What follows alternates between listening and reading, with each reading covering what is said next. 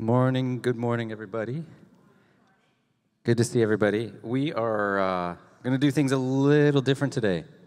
So I like to switch things up a little bit. Um, this isn't actually a guitar. No, I'm just kidding. That's not. Uh, uh, no, uh, we're going to start with with some uh, some slower songs today. It's always good to, to mix things up because I think we get in this thing, uh, this rut where we think, oh, well, church starts with this big boom or this big bang, and like you gotta, that's how it has to happen. It's not. So we're gonna we're gonna mix things up. So and oh boy, one sec. You ever done something and you think you're helping but making it worse? There we go. yeah. so let's sing together. And, and you know what? Like, just focus on uh, how good God is and, and the words of the song because they're, they're not just songs that you hear on the radio to, to sing along with and that you do sing along with them, but there's, there's so much more. They're, they're worshiping the, the God who was, the God who is, whoever will be. Yeah, so let's sing together.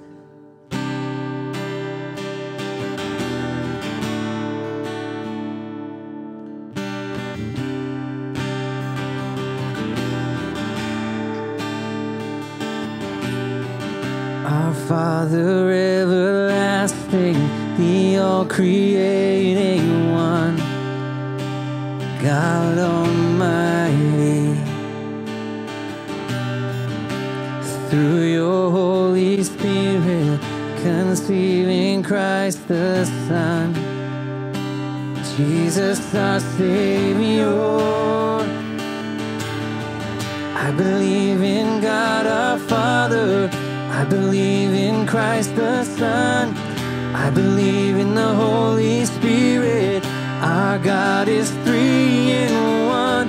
I believe in the resurrection that we will rise again. For I believe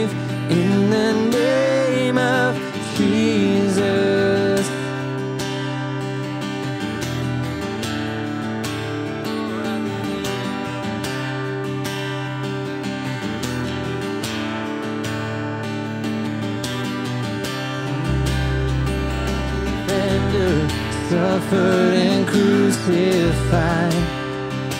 Forgiveness is in you.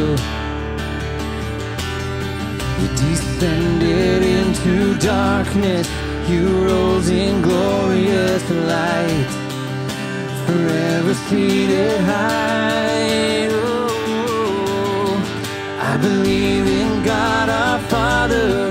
I believe in Christ the believe in the Holy Spirit. Our God is three in one. I believe in the resurrection that we will rise again.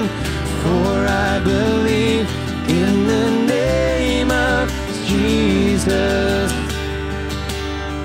Yes, I believe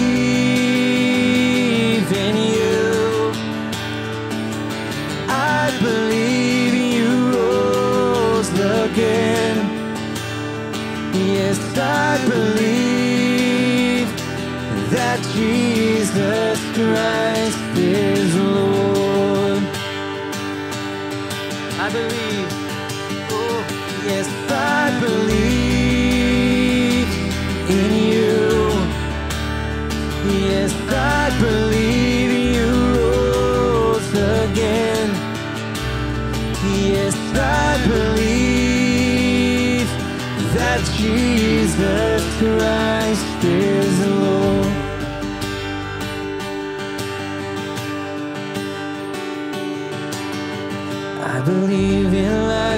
eternal.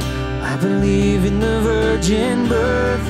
I believe in the saints' communion and in your holy church. I believe in the resurrection when Jesus comes again. For I believe in the name of Jesus. I believe in God our Father. I believe in Christ the Son. I believe in the Holy Spirit. Our God is three in one. I believe in the resurrection that we will rise again. For I believe in the name of Jesus. For I believe in the name of Jesus.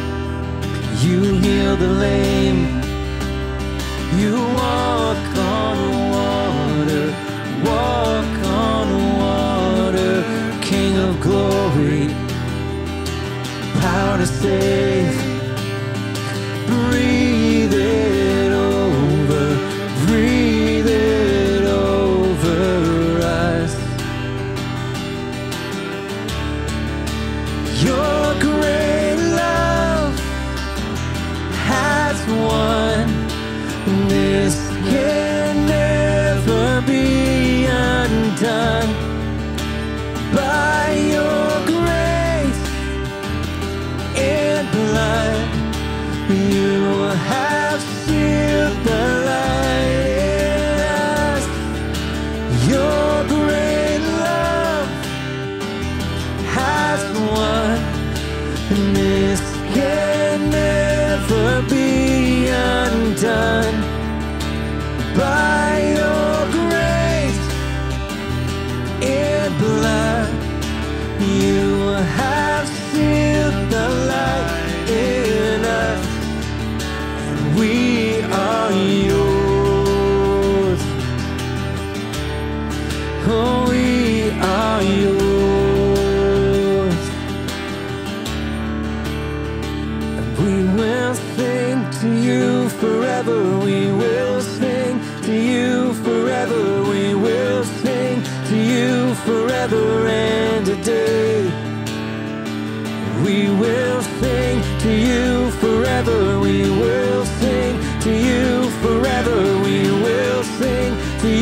forever and a day. And we will sing to you forever, we will sing to you forever, we will sing to you forever and a day. And we will sing to you forever, we will sing to you forever, we will sing to you forever and a day. You're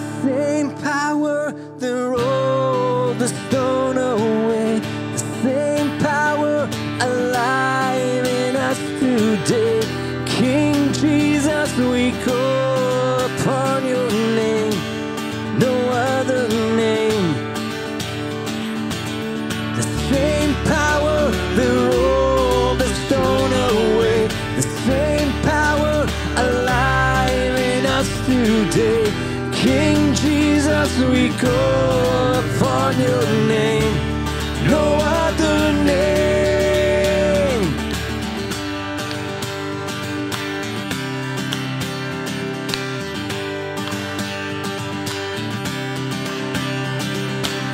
To the King of glory and light, all praises to the only giver of life, our Maker. The gates are open wide. We worship you. Come see what love has done. Amazing. He bought us with his blood. Our Savior. The cross is overcome. We worship you.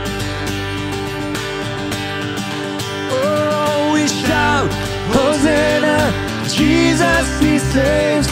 Shout, Hosanna, he rose from the grave. Come and lift him up, Hosanna.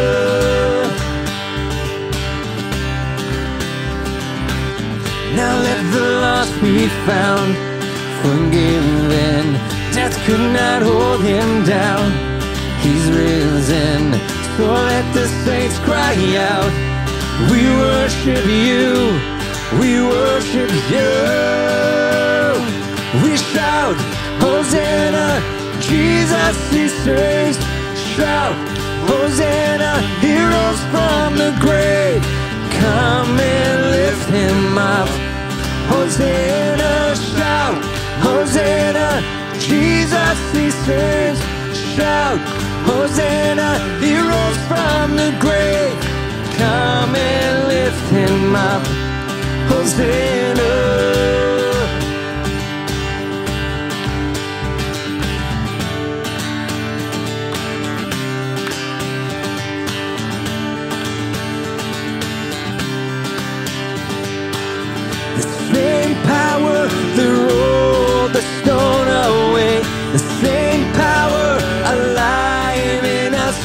Today. King Jesus, we call upon your name, no other name. The same power that rolled the stone away, the same power alive in us today. King Jesus, we call upon your name, no other name. We shout, Hosanna, Jesus, he saves. Shout, Hosanna, he rose from the grave. Come and lift him up. Hosanna, shout, Hosanna, Jesus, he saves. Shout, Hosanna, he rose from the grave. Come and lift him up. Hosanna, come and lift him up. Hosanna, come and lift him up. Hosanna, Hosanna, Hosanna.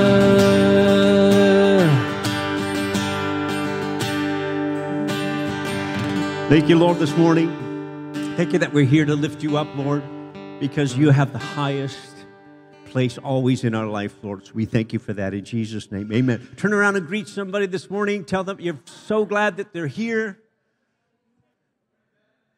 Summertime, some people we haven't seen for a little while here and there. It's always good to gather together, see one another for. Uh, for at least a, a couple of hours together, anyways. A few quick announcements before we uh, head into the uh, rest of the service. We had a baby dedication last uh, last Sunday, and it was just amazing. I just love baby dedications. So uh, we're going to have a chance to see that little one over and over and over again, uh, Sunday by Sunday, and we'll. That's the nice part about having baby dedications. You get to see them grow from tiny, and as they get older and older, uh, is always so great. So when you get a chance to see this new little one from week to week, make sure that you you know, just make sure you, you make her feel welcome uh, every single Sunday. Uh, we have a games night coming up next Saturday night. Next Saturday night from 6 till 9 here at the building. Uh, we're going to be gathering together, so bring a board game if you want to. If you're into playing uh, uh, cards, you're going to get beat bad in euchre, I tell you that. No, I'm just kidding. I shouldn't say that because you never know how it's going to turn around, right? So, uh, but yeah, we'll have cribbage and different things like that going on. Uh, and so just bring your favorite game and just bring your family and spend the, the, the, the evening together, 6 till 9 here at the building, okay? Uh, there is going to be a bit of a vacation for Jim and Claudia. They're going to be heading away for a well deserved time away this uh, this coming three weeks in a row here. So next Sunday, we're actually going to have uh, Dan Kim, who's uh, one of our very own, who's going to be sharing the word with us this, uh, next Sunday. Uh, and then for the next two Sundays, Jim and Claudia are going to be away as well. Uh, so keep them in your prayers as they as they take a bit of a, a vacation. And and then I don't think I have any other announcements that I need to make. Anything I should be doing? No. Okay. So we are going to have junior youth here this morning. So if your children are of that age, then you can go with, uh, uh, with Ben and his crew. And children's ministry is, uh, all the kids are released right now. Oh, yes, Val? For, for the games night, you're talking about bringing something? We're just going to have snacks. If you just want to provide, uh, we're, we're going to bring a few, but if you want to bring some of your favorite snacks, uh, as long as you're into sharing, that's okay. okay, so I'm going to ask Rob uh, Brody to come, and he's going to share the word with us this morning. Wow, I thought that was I thought that was applause for a minute there. No, no, no.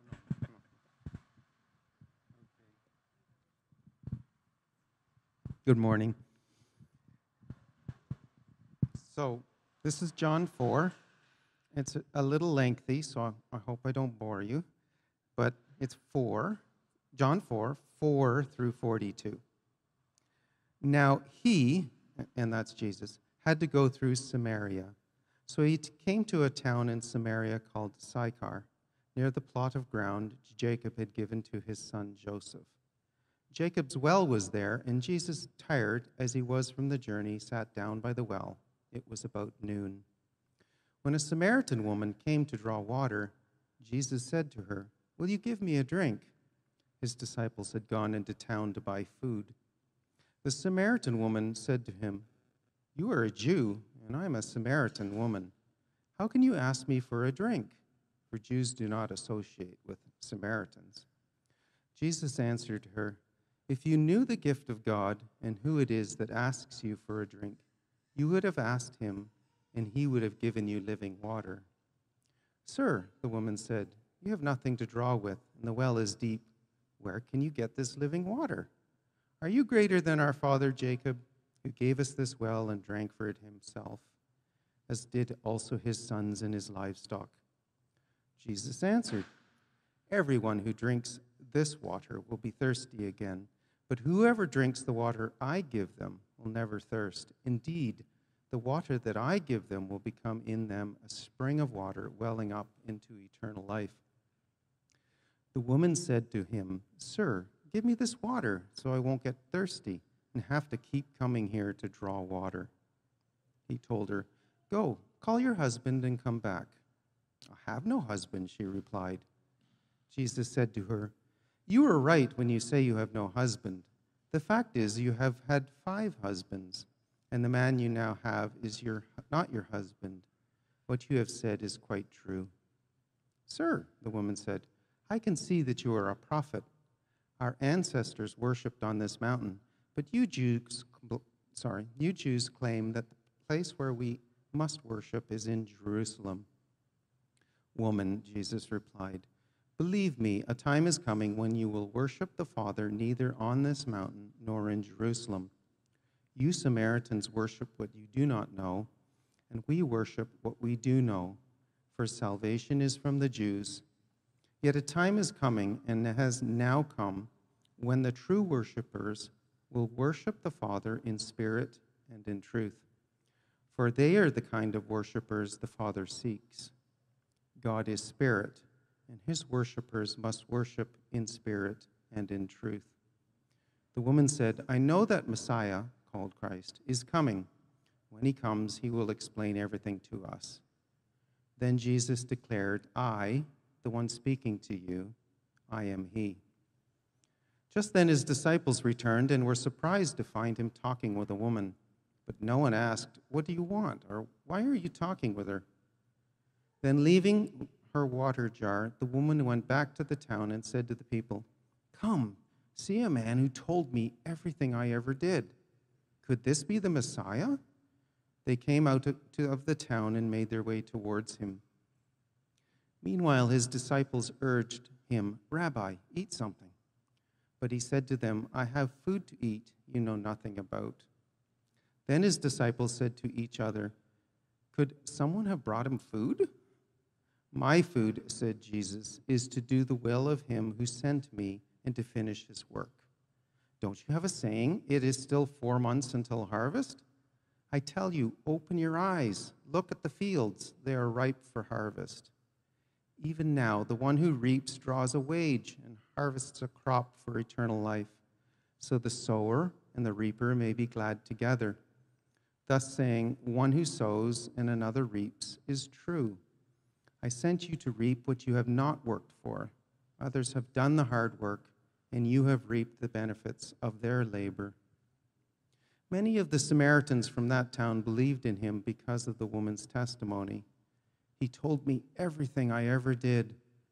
So when the Samaritans came to him, they urged him to stay with them, and he stayed two days.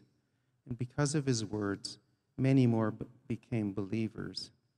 They said to the woman, We no longer believe just because of what you have said. Now we have heard for ourselves, and we know that this man really is the Savior of the world.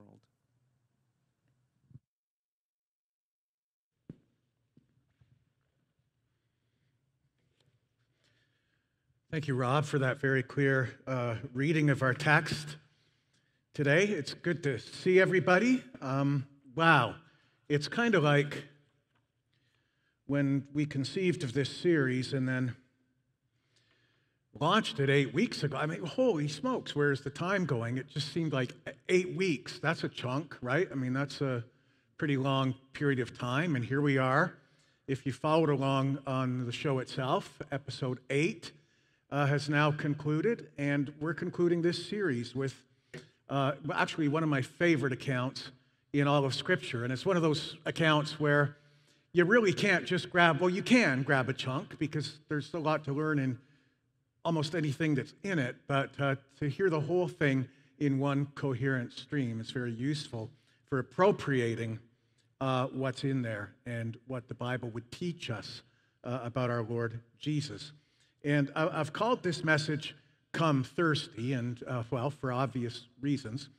In a moment, uh, we're going to kick things off with a clip uh, from a movie called Patch Adams, which is at least 20 years old. The lead role is, is played by Robin Williams, and he's a very unconventional healer, which kind of reminds me, in a way, of uh, somebody that we follow who is also an unconventional healer and criticized by uh, the ones, the establishment, uh, the authorized and credentialed people who actually know what they're doing.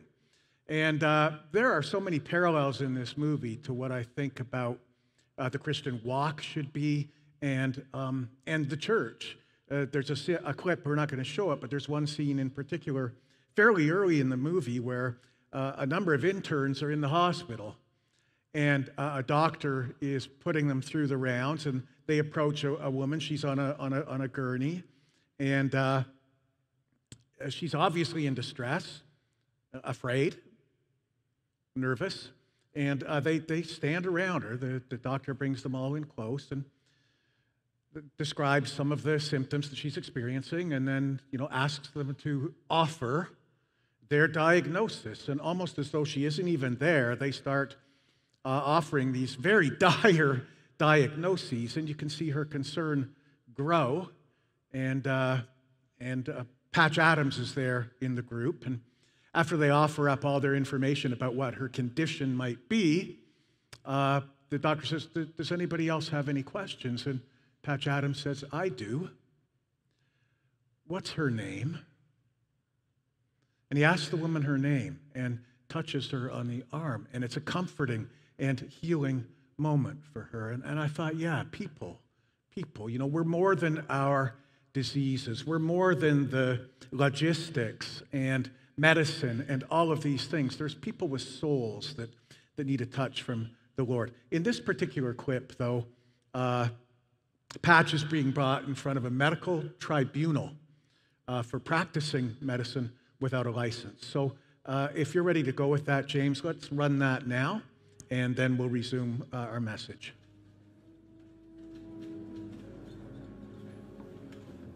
Hunter Adams. You've been accused of practicing medicine without a license. It's a very grave charge, son. Are you aware that it's unlawful to practice medicine without a medical license?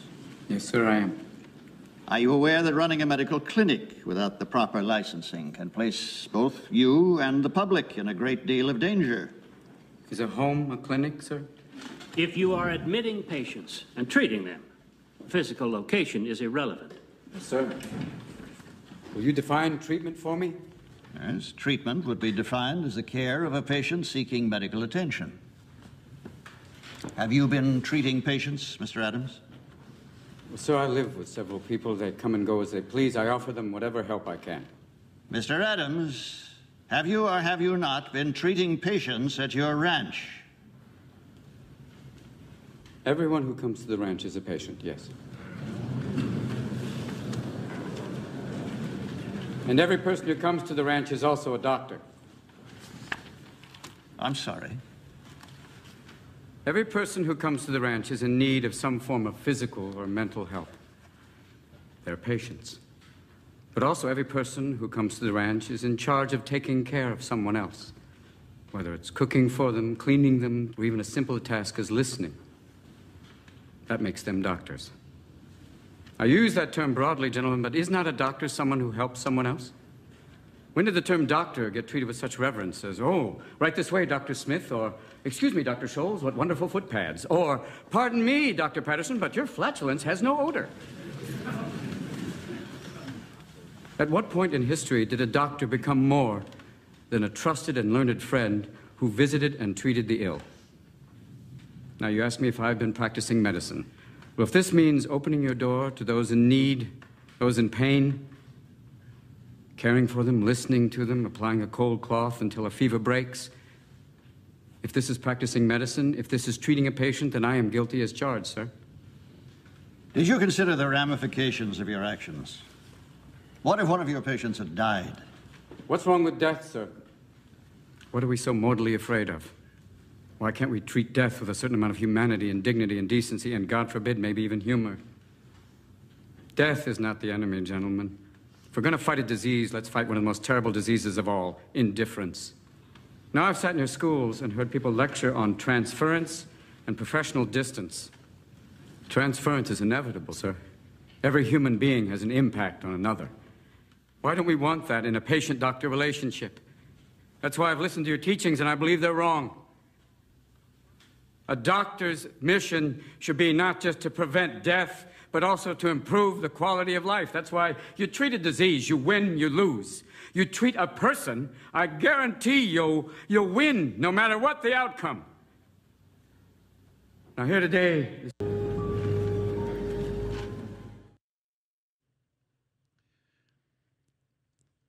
a pretty good picture at one point of the church there. You know, that, that every doc, every patient, you know, everyone who comes there is a patient, but everyone who comes there is also a doctor. And the church, the unto one another. Philosophically, there's things I could pick uh, apart with, uh, I believe, that death is an enemy, for example. Uh, but nevertheless, uh, something to think about there in the church. And it, it, reminds me of Matthew 9, where Jesus says, uh, it's in your notes, Jesus shot back, Who needs a doctor? The healthy or the sick? Go figure out what this scripture means. I am after mercy, not religion. I'm here to invite outsiders, not coddle insiders. And of course, Patch Adams says, You treat a disease, you win, you lose.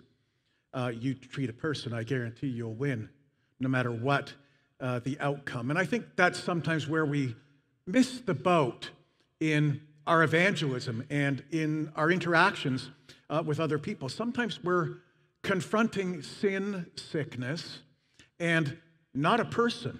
Sometimes we're attacking symptoms of disease without caring for people, and they can sense it. We don't, we don't see a person, we see uh, an alcoholic or a, a Samaritan or uh, an immoral woman. And in John chapter 4, we're going to look at five big ideas as modeled in one encounter between Jesus and the woman of Samaria, the woman at the well. And I think this woman is very much representative of today's unbeliever I want you to understand that, that, that you know this woman. And Jesus and her, they have some conversations uh, about the, the, the, men in her life. And as you read about the fact that she has been through five husbands and the man that she is living with is not her husband, then uh, this, this woman is very typical. I think about hookup culture. I think about the changes in the family in our, in our society today. I'm not standing in judgment or condemning her or anyone else in particular when I say that. At this point, let it stand simply as an observation. But she is so typical of what's going on in society today and with people that you know, people that perhaps you work with, that perhaps are your friends, your neighbors, people who are in your own family, people who are thirsty. They're going from one relationship uh, to another, trying to find something to fill the empty space in their heart. And, and you know this person moving through a series of disappointing relationships. And when they don't find satisfaction with the thing that they pursue, pursue, or with this relationship or with this person, they move on to another. And this woman's been on a gerbil wheel of relationships trying to find one that would give her love that lasted, love that would be truly satisfying. And as the cliche goes, she has been looking for love in all the wrong places.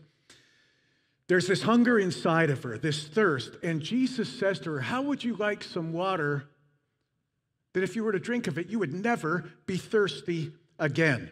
How would you like to try that water? She's been relationally thirsty, love thirsty all her life. And, you know, people you know and people that I know are, you've heard me talk about what uh, U of T philosopher John Vervaeke calls the meaning crisis. We're in a crisis of meaning in our culture. People don't understand how to derive meaning anymore as, as church and faith has, has moved sort of out of their radar. And people you know and I know are, are trying to fill a void. They may not be filling it with men like this woman, but there is a void in their heart, a vacuum that only Jesus can fill. And, and you know all kinds of people like that. And you can have an impact on some lives like Jesus did right where you are just the way you are. And of course, you know that as the story continues, she races back to her city and she ends up being the person who changes her entire village. And she introduces her whole community to Jesus because of what she's found in him. And then they end up saying that, you know, we believed because we heard your witness. Uh, but then after they came and saw Jesus, they said, now we have met him. We, we've seen him with our own eyes. Uh, we have witnessed this ourselves. We know him, you know, to be Lord, uh, to be the Messiah.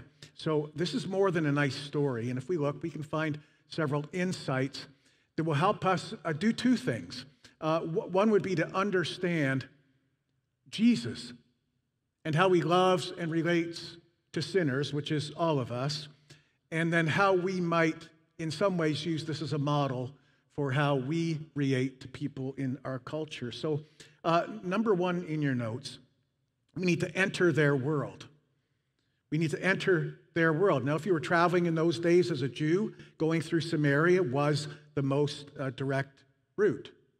But Jewish travelers very often did not go through Samaria to get to their destination. If Jesus and his disciples uh, had need of or had a GPS, they could have programmed in their destination and found two other alternate routes that still would have gotten them there. But for some reason, John says he had to pass through Samaria. Typically, when Jews were traveling from Judea to Galilee, they would circumvent this area. It was an unwelcome region for the Jews, uh, but more accurately, the Jews sought to avoid any contact with the Samaritans. Uh, racism, othering is not a new thing. And I don't know how much you know about the Samaritans, but the Samaritans actually originally, uh, they came from Jews who had intermarried with pagan cultures, and they had blended those religions with the Jewish religion. And they had their own temple in Gerizim rather than in Jerusalem. They, they, they worshiped on a different mount in a different place. And consequently, there was this bigger antagonism between Samaritans and Jews, so that generally they had nothing to do with each other. And of course, uh, people that don't have anything to do with anybody else, uh, Jesus always has a spot, a place for them relationally. And he was compelled to go through Samaria, and he stopped intentionally at this famous well of Jacob outside of Sychar. And if you want to read a little bit more about that, you can actually go back to the very first book in the Bible. You go back to the book of Genesis in Genesis 33 and read about the Jewish patriarch Jacob who purchased this land for a hundred pieces of silver and consecrated a well there. This is not a coincidental rest stop for Jesus. Even the meeting place has meaning. Jesus is very familiar with Jacob. He's extremely familiar with Jacob's well and the history. But I believe that Jesus deliberately enters the world of the Samaritans in order to reach them. And I believe he deliberately goes into their world and speaks into the life of this woman. It's not socially safe for him. It's not easy for him to go there. Even the disciples, when they come back and see him talking with a Samaritan, uh, particularly a, a, Samaritan woman, they're like, What are you doing, man? Like, it, Jesus knew their thoughts. But he leaves his circle of comfort and he enters what we could call the zone of the unknown. And Jesus teaches us to step outside of our circle, which means we've got to get out of our comfort zone from time to time and enter that zone of the unknown. But that risk is what evangelism is all about. And, you know, one of the things that we have to realize is, is Jesus was always going. He didn't just uh, he didn't just remain at the temple gates. He was always going, always meeting, always having contact with the other person. And, you know, they, they don't plan for you and I, they don't plan to enter our world. Uh, today's unbeliever doesn't plan to, to check out a church anytime. You got to go into their world. But the good news is this you are in their world most of the time in your interactions, in your society, in your neighborhood, in, in, in your workplace. So we're going to have to reach them in settings where they are comfortable. And so the new front lines of evangelism are, are, are more likely to be uh, the living room in your home or the kitchen with one or two other couples. Uh, it, it may be your neighborhood, it may be your own family. It probably won't be among the stained glass and the organ and the choir music. We need to go where they are, and you're already there. God has strategically placed you in a relationship with somebody that you can reach. And you don't have to get weird about it. it, you know, it doesn't have to be a project, it's a person. It's a person. We enter their world. Evangelism that doesn't expect them to come to ours. We go to theirs. We cross the street and we remove barriers. Jesus was an awesome example at dismantling barriers, societal, societal barriers, religious barriers in the, in the Jude, uh, Jewish faith. Jews were not supposed to speak to Samaritans, they hated each other. Men were not supposed to speak to women, but Jesus crossed those lines. Religious leaders, by the way, usually crossed the street uh, to avoid women like this. You see, religion is all about here's a name, word we know far too well right now, uh, or, or over the past couple of years, but religion is all about lockdown.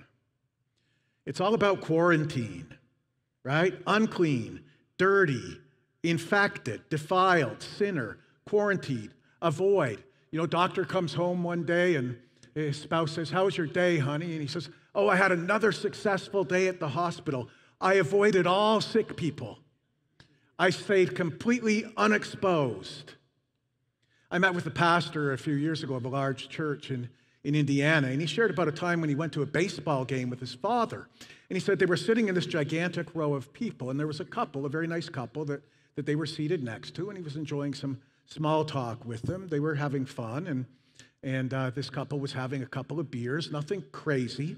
Uh, but you know how it is at the ballpark. So the people who, sta- who, who sit at the, the start or the end of a row, depending on how you think about it, are, are constantly having to pass things from the concessions, from the vendors, to people in the middle. You know what that's like, right? You're passing the popcorn, you're passing the Coke, uh, the beer's spilling on you. Then the money, you know, has to travel from 10 people down to one end and, and back. And, you know, it can, it can get a little uh, annoying at times. But my, my pastor friend said his father, who had also been a preacher, a very old school preacher, and that his father had always been really strong and really outspoken against drinking. I mean, the subject made it into just about every sermon uh, the man talked about. He talked about drinking more than he talked about the Bible. Uh, he didn't want to touch beer, let alone drink it. Uh, if you think I'm mocking this man, uh, no, I'm not. I, I can certainly appreciate the, the, the, conviction. But this couple was sitting next to my pastor friend and, and his father, and, and my friend Derek is trying to get to know him, have a conversation and stuff. He said that the man ordered beer, but it had to come through his father when they were passing it. His father stood up,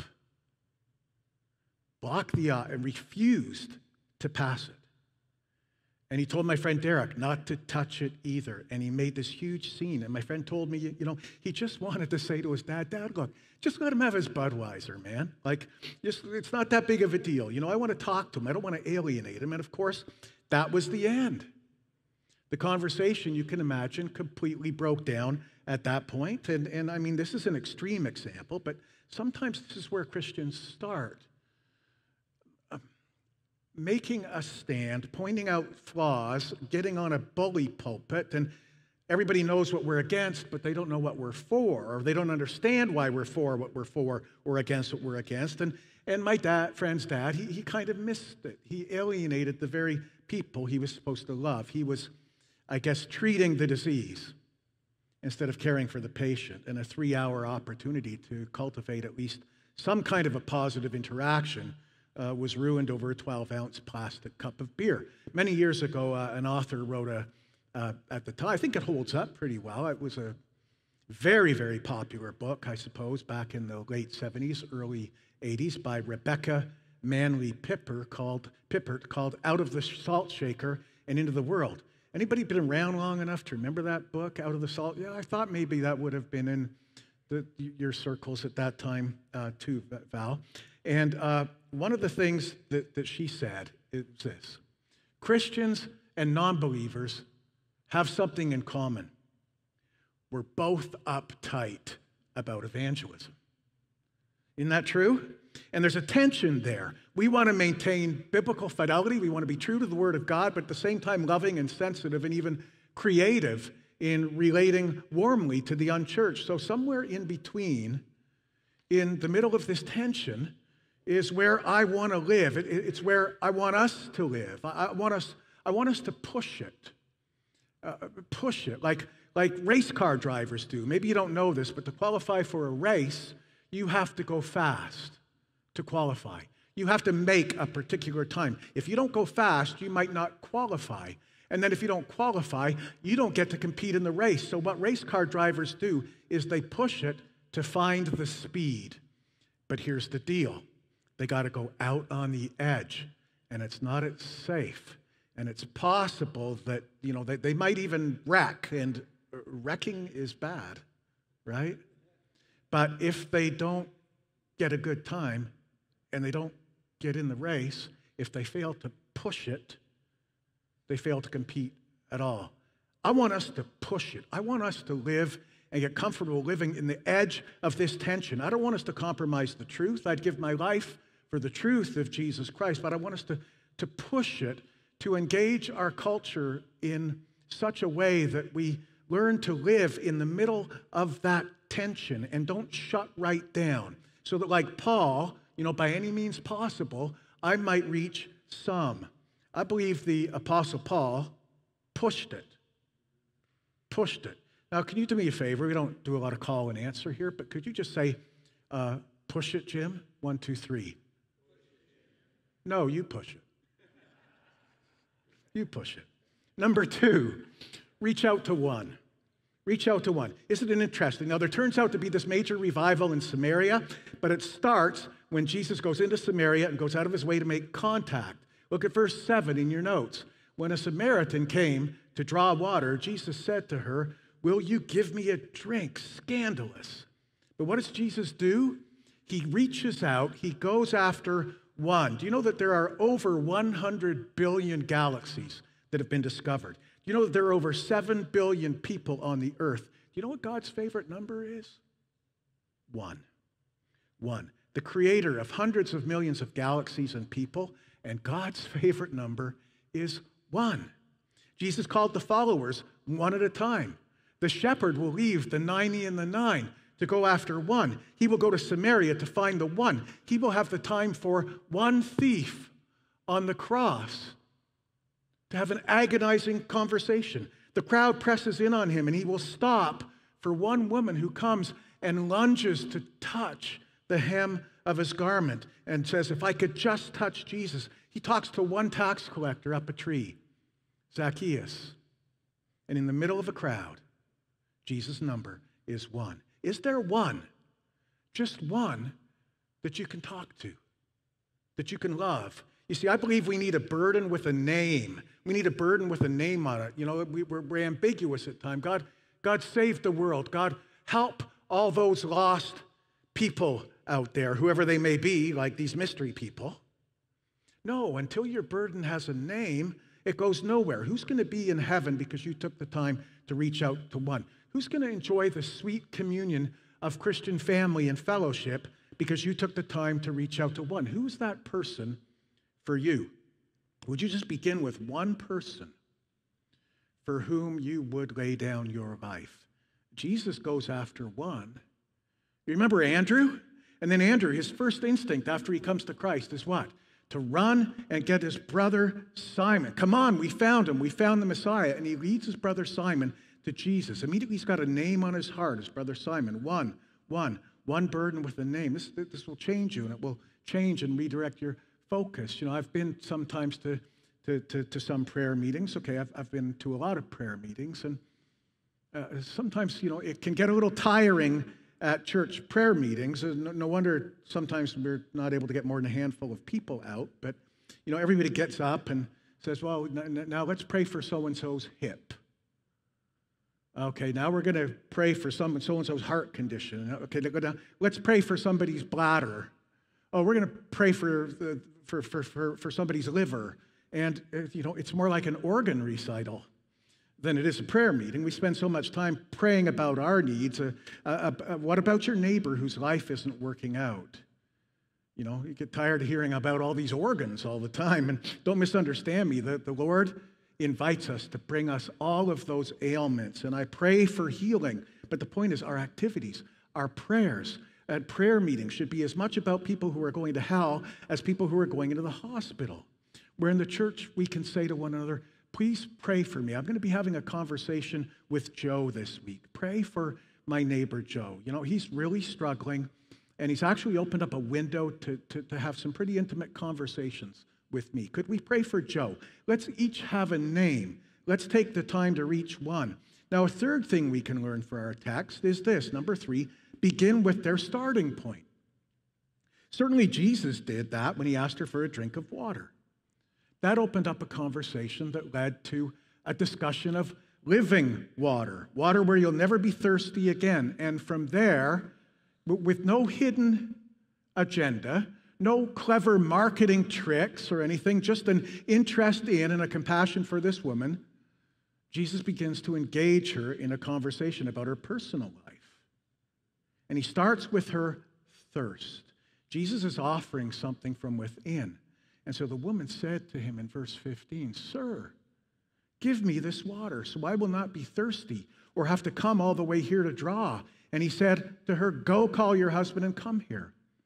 And the woman answered and said, I have no husband. Jesus said to her, You have correctly said, I have no husband, for you've had five husbands, and the one you have is not your husband. This you have said truly. Well, all righty then, right? Uh, can you imagine meeting a stranger that can tell you the details of your entire life story? And that's where we want to start today. What this woman teaches us is that Jesus knows your story. He knows your neighbor's story. He knows your story no matter how hard it's been or how ugly it's been. And He wants to redeem it. He wants to redeem you. Uh, you ever notice that nowadays everything, everything gets caught on camera? Everything gets recorded somehow, right? Alexa, Siri, Google Assistant, they're always listening, recording. I mean, license plate cameras are scanning, face recognition systems are running, security cameras are everywhere. Uh, satellites can capture and expose uh, embarrassing moments or, or for, for, from outer space. Secrets are revealed, crimes are solved, the truth is unveiled. In the famous uh, words of George Orwell, Big Brother is watching. Big Brother is watching all the time. In fact, I heard somebody uh, say that uh, recently. They said, Man, you know, an older person, old guy like me, said, Man, I'm glad I grew up, you know, w- when I did, um, uh, because you know, I'm glad I got to do all the stupid stuff I did without it being captured on video or camera or recorded. I mean, you know, everybody knows everything today, right? Not that long ago, a tragic drunk driving fatality caused by an NFL player recently in his Corvette. And we already instantly know his name, his blood alcohol content, his speed preceding the accident, the exact miles per hour at impact, the salary number that he's going to lose, and the details about the other vehicle and the woman and her dog who were killed in the vehicle. Artificial intelligence knows so much now, but what it doesn't actually know is the depths of your heart. It might be able to figure out your consumer patterns, but it doesn't really know you, your deeper longings, your hidden thoughts, and your motivations. And, and Jesus does. And this should actually be a comfort to us. He knows all about us and cares about us in every single detail. He knew every detail about this woman, her past, her present, and her future. She said, I have no husband. And, and he said, You have said correctly that you have no husband, for you've had five husbands, and um, you know, the, the, and you're shacked up with somebody again now. I mean, that's that's you've told the truth. I mean, maybe this woman had just experienced a few shameful breakups in her life. Maybe she'd had tragedy. She'd been widowed multiple times. Perhaps she had made some bad decisions, you know?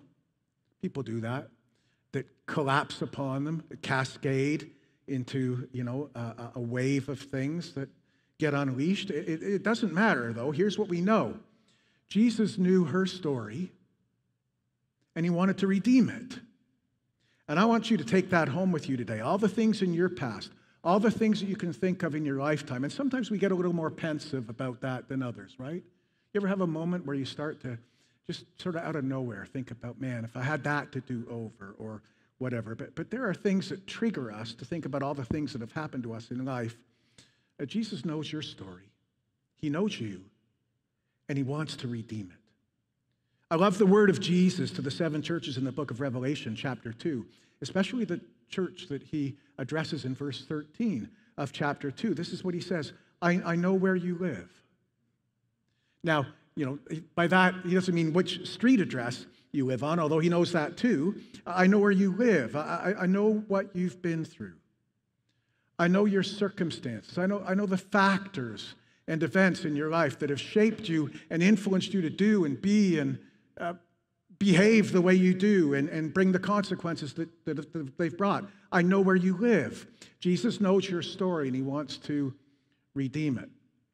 Some of you have heard me tell the story of the Christian school that had a cafeteria, and there's a cafeteria line the kids are going through, and the, the school had brought in like these fresh, big, huge, you know, honking bowl of fresh oranges. And they just looked juicy and nice. And um, so the cafeteria workers had taken a sign and put it on the bowl of oranges, and it said, Please take only one orange each. Jesus is watching. But they would go through the line, and at the end of the line, there was a large, large um, bowl of homemade chocolate chip cookies. And some wise guy had written on that, Take as many as you want. Jesus is busy watching the oranges, right? well, he can see everything at once.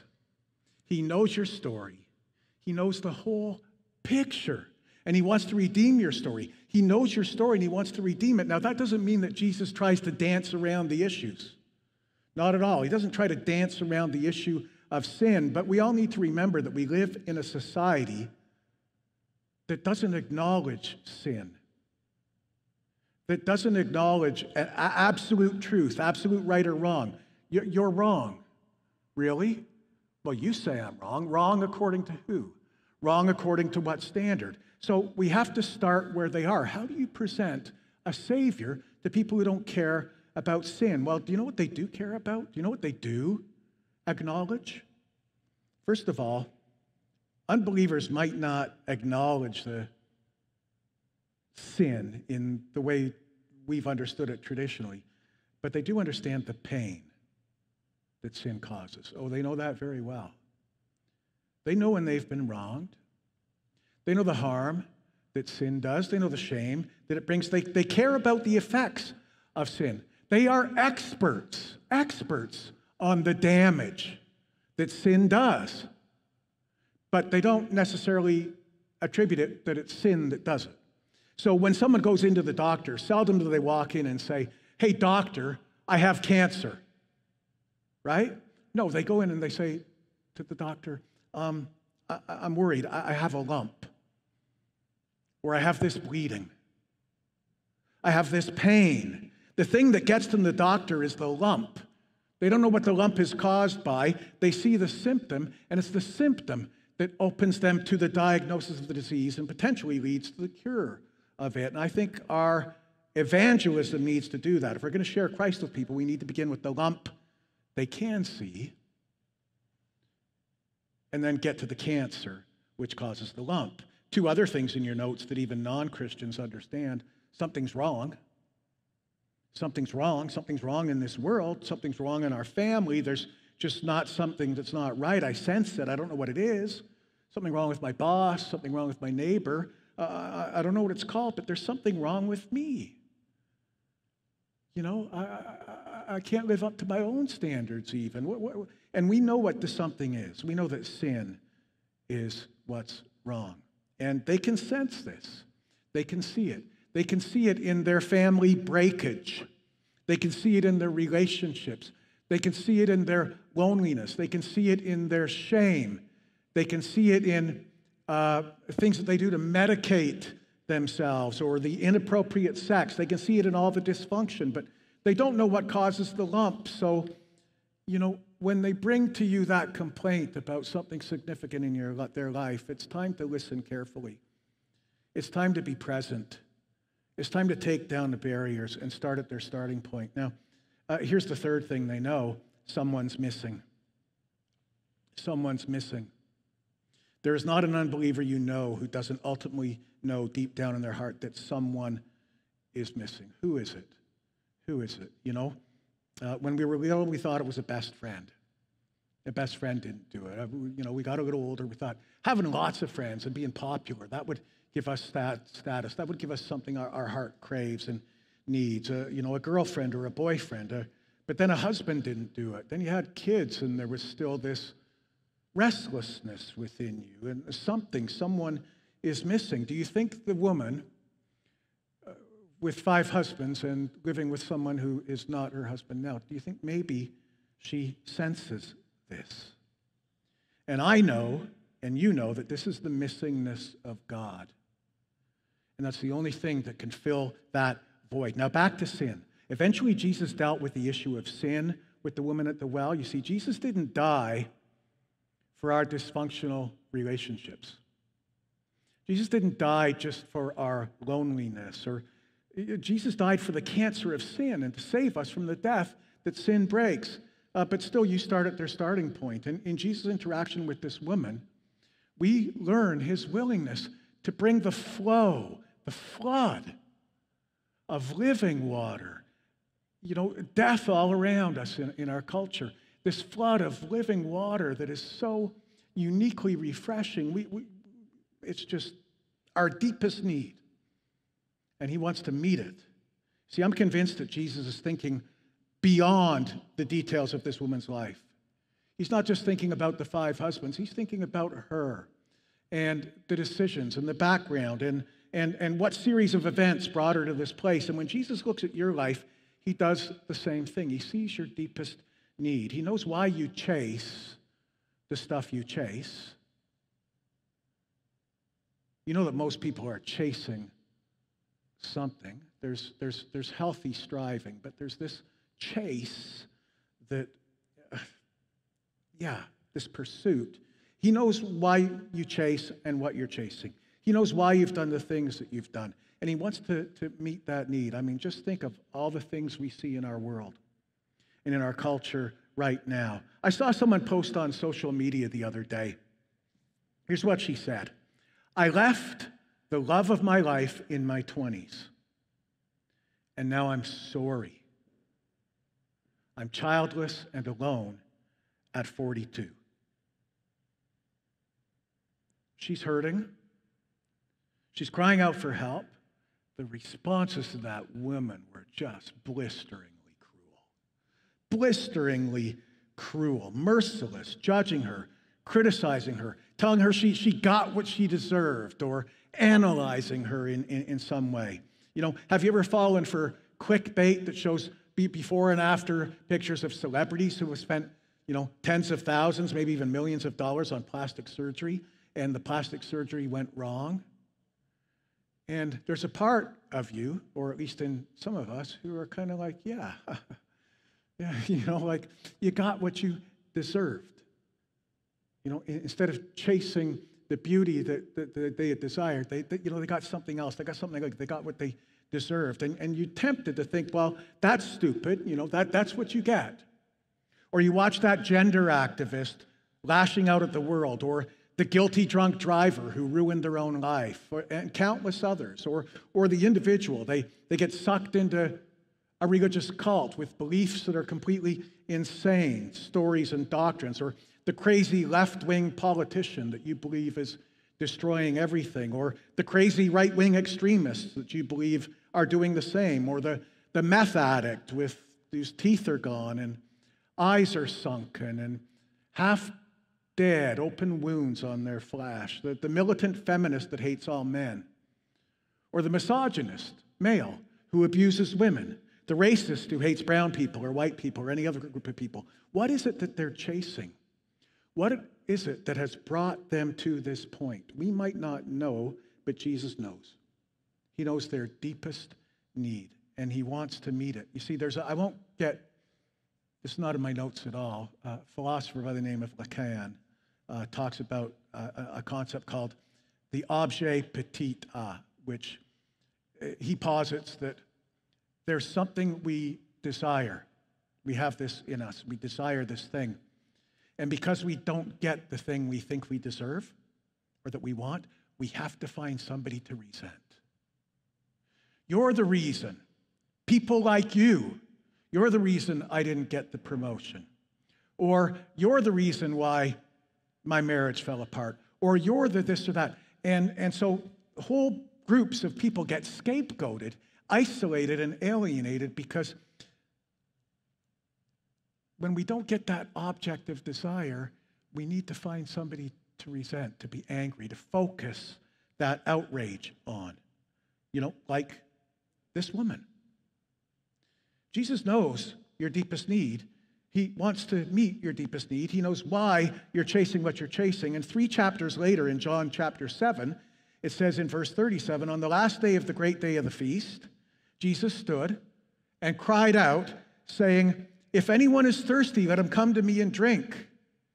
He who believes in me, as the scripture says, from his innermost being will flow rivers of living water. Okay, quickly, let me give you the two last things. Number four, avoid religious smoke screens. So, so like Jesus did, don't, don't as, as, as, as he avoided, don't get trapped into a debate. You don't need to get lost in doctrinal distinctives or denominational differences. You know, well, we do it this way and the Baptists do it that way and this group and we're the right group, follow us. No, no, no. Jesus said, follow me. I am the issue. And when people throw up all those things, when people want to debate, I say, you know, we could talk about that. But what about Jesus? Would it be okay if we just looked at Jesus? Uh, you know, Jesus didn't say, follow my followers or my opinions, uh, their opinions. Jesus said, follow me. There, there, there's so many smoke screens. He said, you know, we worship on this mountain, but you Jews worship in Jerusalem. We worship in this style, different style. Those are not the issues. Certainly not at this point, if at all. Sometimes we'll, someone will say, well, my neighbor, you know, is a Christian, and they're just a big hypocrite. But Jesus didn't say, follow your neighbor. He said, follow me. So avoid religious traps. Focus on Jesus. Religion is never the issue. In fact, religion is often the problem. We aren't saved particularly because we have the exact right theology or right set of works. Ephesians 2 9 says, Not by works are we saved, we're saved by grace. It's like a drowning man being given swimming lessons. At that particular moment, he needs rescue. He needs a lifesaver. Help, I'm drowning. And we're trying to say, okay, well, here's what you do. First, you've got to learn the flutter kick. And then we'll move on to uh, the front crawl. You got to take your left arm and, hey, I'm drowning. I don't need a lesson or a booklet on swimming. But That's what every religion is. Learn the right works, then do it yourself. And listen, Baptist works don't work, Catholic works don't work, Muslim works don't work, our works don't work because we're drowning and we need a rescuer, not a swimming instructions. If I could save myself, don't you think I would? My final point ties right into this. Number five stress a relationship with Jesus. Stress a relationship with Jesus. In your notes, then leaving her water jar, the woman went back to the town and said to the people, Come see a man who told me everything I ever did. Could this be the Christ? They came out of the town and made their way toward him. Many of the Samaritans from that town believed in him because of the woman's testimony. Jesus said to the woman, I am the Messiah. I who speak to you am he. And the woman goes back to her village with this message on her lips. And she doesn't say, Come and join a new religion. What does she say to them? She goes back to her village and says, Come see a man, a person. Come see a man. Somebody told me, who told me all about my life. Somebody told me all everything I ever did. He, he, come see a man who's changing me. Come to Jesus, tell of his wonderful life. He's not your belief, he's not your religion, he's your Savior, a Redeemer. And that's what we have to tell.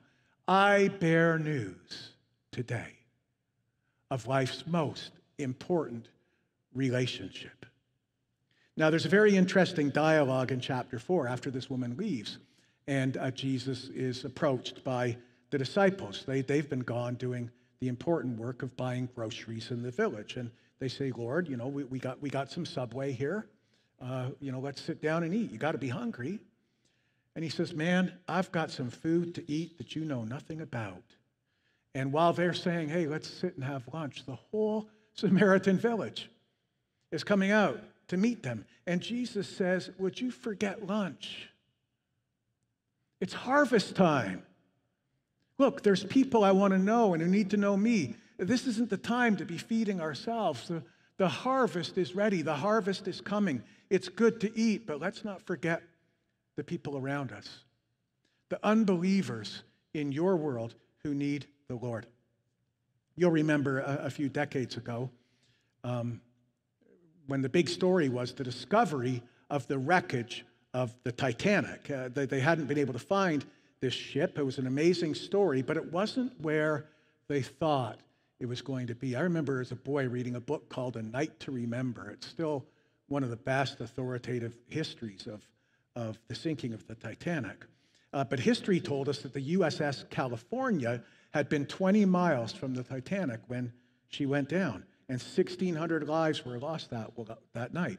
They sent out distress signals, and the California uh, said they couldn't get there because they were 20 miles away. Well, they had a reading. They, they knew where uh, the California was that night. They had a fix on her bearings, and they would never find the Titanic because they continued searching in, a, in an area 20 miles away from that mark. Well, then they found the Titanic. You know what they discovered? The wreck was really only just five miles away from the California that night. Most of those people never had to die. There were people close enough to save them. They never made a move. You're close enough. You're close enough to make a difference.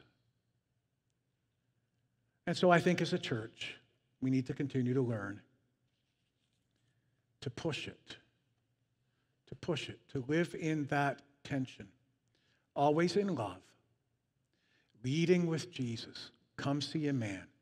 Come see a man. The most important person you will ever know the person that you need to know, the person who can look inside you and replace shame and regret with raging, flowing, living waters of abundance, newness, refreshment, and redemption that's offered to every person, struggling sinners, everybody else alike. I'm praying, and then I'm going to ask Pastor Dave to come and lead us in the Lord's Supper. Father, we're grateful that you love us, that your Son entered our world, that he knows us. There's so many things we would just die if someone else knew them about us, but Jesus knows them all, and he died for us to redeem us, to bring us life. So, Father, help us to think about people the sick who need a doctor, to give and receive to one another, but to give freely to those who don't know you, patiently investing. Because it's not the healthy who need a physician, it's the sick, Lord. So you pray that you would help us recognize our one and wisely point them to you, the Redeemer. In Jesus' name we pray. Amen. Thanks, Jim. Wow. It really just brings everything home, doesn't it? If you haven't uh, already done so, we have communion pods out on the, either side of the, of the room on the tables. Message reminds me of uh, a book that was maybe not quite as old as the book that you uh, mentioned before, Jim, but it was called The Man Called Norman. And basically, the gist of the book is that we may only have even the opportunity to reach one person it may be the, our lifetime project.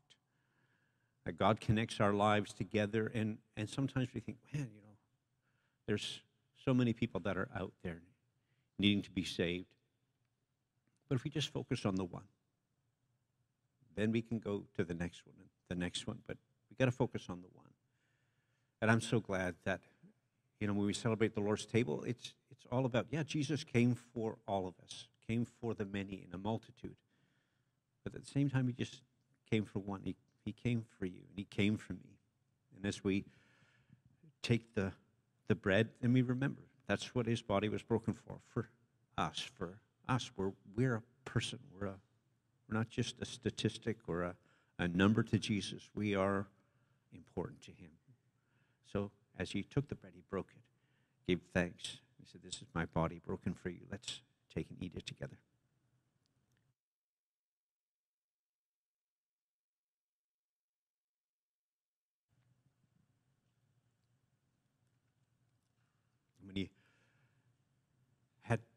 taking the cup, he said, This blood represents the new covenant. Let's take it, drink it in remembrance of him.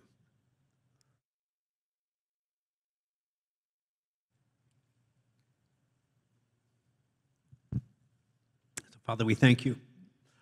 Thank you that you connect our lives, O Lord, with people around us, Lord, every single day, every single day of this week coming, that you give us eyes to see those that are hungry, those that are thirsting, Lord. Thank you for bringing others around our lives when we were thirsting, Lord, that could point us to you, Lord, that living water, Lord. Thank you for the change that it's made in our lives, Lord, and the change that it will continue to make in the lives of others. We give you honor and praise, Lord. We thank you, Lord, for using our lives, Lord, to make a difference. In Jesus' name.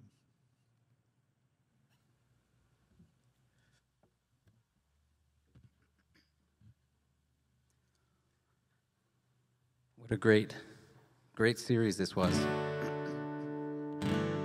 And uh, yeah, I'm gonna do some talking here. Just I like to throw everybody off because that's what I do. But no, but um, I got a couple of things that I wanted to say that was going through my mind as uh, as Pastor Jim was was was preaching uh, this message. And I don't know if you've all watched the the series that we're we're watching together because I, I will be honest. Um, at first, when I first heard about this series, I, I was like, no, it's going to be terrible. So I didn't I didn't watch it. Not not when when Pastor Jim brought it up, but before. And uh, but then he brought it up. Uh, we are going to watch it. I was like, oh, fine. So, but it's actually it's been. Uh, I don't want to use the term life changing because it hasn't. Like, I mean, that's pretty pretty significant. But it's really impacted how I view Jesus. Um, and it's been it's been extremely it's been really good um, and and the messages today, uh, especially, but but a lot of the messages, they, I can look back and see, well, how did how did it visually look from the representation of of the the, the show that we're watching, and uh, it just because all before you kind of look in your child's eyes of how you've seen God as, as you grow up in Sunday school or, or, or the books that you read or, or anything like that. And in this one, you get to see a little bit of a different representation, which um, is very beneficial for, for me personally. So, um, and then that led me to think of the song that we're about to sing. And um, it's called Reckless Love, and you've heard it before, but I don't know if you know this, but there's there's circles on the internet which I try not to get involved in, but they they pick this song to pieces, and they say, "Oh, how dare you say that God's reckless? How dare like that? That's a negative word," and they totally miss the whole purpose of the song. Let's think about it. Let's look at Jesus, okay? To the Pharisees, Jesus was crazy. He was blasphemous and sacrilegious, and everything that they were, um, everything that they were, in, in, they were they were saying he was the opposite of, of what God wanted, but it was the opposite of that. And um, this song talks about how God's love is reckless, yeah, in the eyes of, of what should happen and what the law says, it, it doesn't make any sense. But how can, how can what we fathom with this brain make sense with what God is doing? It doesn't, why would we think that we should be able to understand it? We can't because God is so much greater. And, and it talks, of, the song talks about about uh, God kicking down walls and wouldn't do anything to to separate himself. He would he would do everything he could to try to reach us. And that's that's the story of the gospel. and it just blew my mind when I start hearing the message and I hear the the songs that that we sing and the ones that we're going to sing. And sometimes they, they don't line up. But today, this one really spoke to me. And it just, because God would leave the 99. He did leave heaven to reach us. I mean, that's unreal. It doesn't make any sense and it seems reckless, doesn't it? So it's not a negative thing. It's it's everything. It's positive. It's the reason why we're here. So, yeah. So think about that. Think about how God God God would do the unthinkable for you, for me, for us. It's uh, it's not a song. It's not it's not just something that we sing about or talk about. Then we go and we eat some food afterwards at, at our house. This is it's everything. this is the reason why why we meet. And and yeah, it, it, inspires you to go and talk to your friends and your neighbors and your coworkers, um, not to preach at them, but to lead them to Jesus, just like just like what happened in the, the show that we're watching. So, yeah, anyway, that's what I wanted to say. So, um, yeah, be mindful of that, that God, God loves you and he would do everything he can to reach you. So, yeah, that's pretty amazing.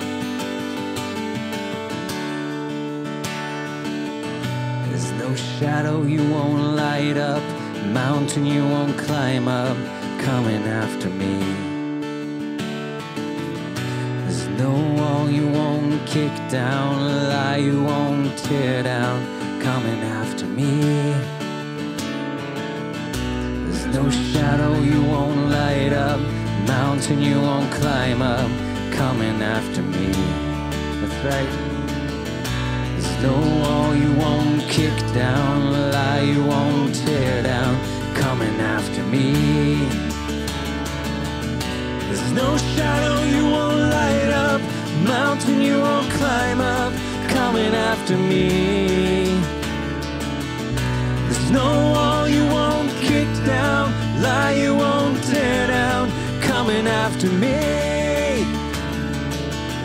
There's no shadow you won't light up, mountain you won't climb up, coming after me. There's no wall you won't kick down, lie you won't tear down, coming after me.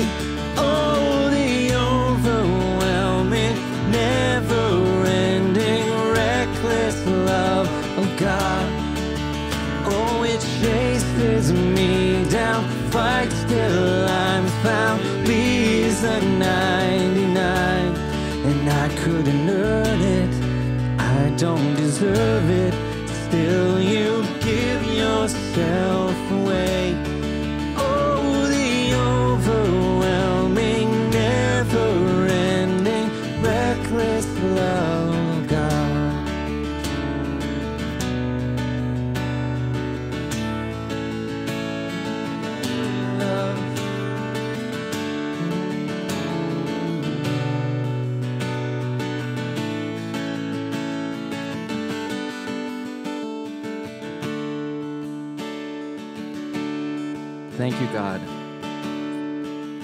Sending Jesus to this world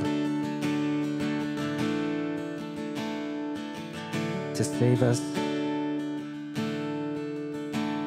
bring us back to you.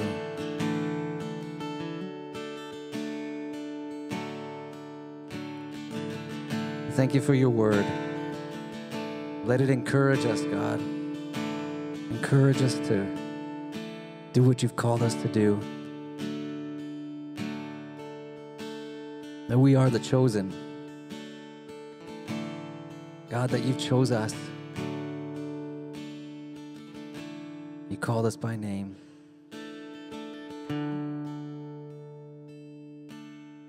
We give you glory and honor and praise in Jesus' name. Amen. Amen. Well, we're going to have a great day today. We're going to have a good Sunday, and we're going to be back next week ready to worship and to learn and see what God has to say. So have a good day. Be blessed. Amen.